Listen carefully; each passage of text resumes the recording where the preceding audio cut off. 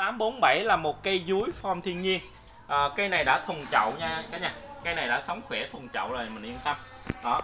À, về mình chỉ chăm tưới bình thường thôi đừng có bón phân hóa học là ok thôi. Còn bón phân hữu cơ thì mình cứ bón cho nó có liều lượng vừa phải thôi. Đó đừng có ham nhiều quá thì cây rất là dễ bị sự cố. Đó rồi đến lúc là đôi bên nó lòn ngoằn mệt lắm.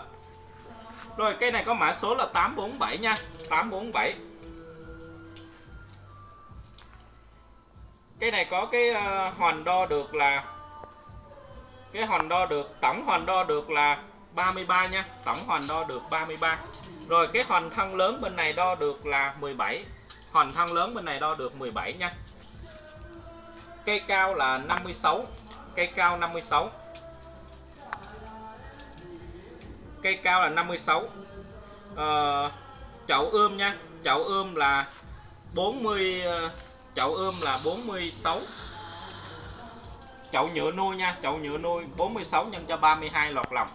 46 nhân cho 32 lọt lòng nha. Rồi cây này nhà vườn em xin giao lưu là một triệu rưỡi bao ship nha. Một triệu rưỡi bao ship là một cây dúi hay còn gọi là hoàng anh mộc cây form thiên nhiên. Cây này đã thùng rồi nhé nhà mình yên tâm luôn. 847